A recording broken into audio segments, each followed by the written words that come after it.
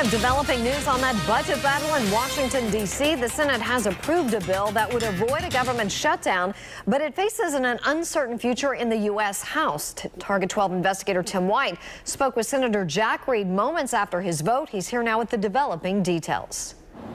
Just hours ago, the U.S. Senate passed a bill 54 to 44 that would continue to fund the federal government. But now the ball is in House Speaker John Boehner's court.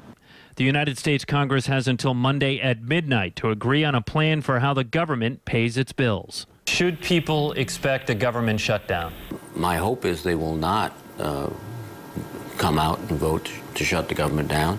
Uh, but at this juncture, it's, it's, it could, could possibly happen. In an interview from Washington, D.C., Senator Jack Reed says House Speaker John Boehner will meet with Republicans to make the next move. Many GOP members in the House are demanding the plan strip Obamacare of funding. Speaker Boehner has uh, consistently uh, over the last several weeks been yielding to the most extreme elements in his caucus. Reed says if the government is shut down, Social Security checks will still go out, but federal workers won't get paid and federal contracts will grind to a halt. I do believe that our military will be paid as they should be paid, uh, but when you get to uh, civilian employees, federal agencies, basically they start winding down and shutting down.